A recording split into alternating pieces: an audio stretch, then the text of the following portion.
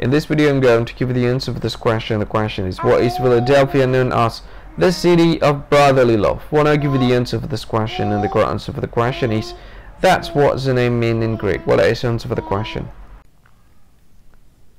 Hi, thank you so much for watching this video. If you find this video is very useful, you can help this channel to grow by subscribing this channel. Please this subscribe button and don't forget to like this video. And if you find this video is not really good or you don't really like this video or you kind of feel that it's a little bit offensive or something like that, you can click this one, dislike button. You can do that anyway.